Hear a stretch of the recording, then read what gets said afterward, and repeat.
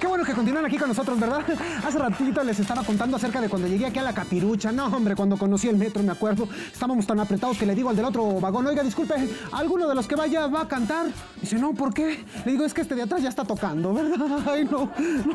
Iba una viejecita ahí y me dice, joven, desea respetar. Recuerde que su cuerpo es como el templo del Espíritu Santo.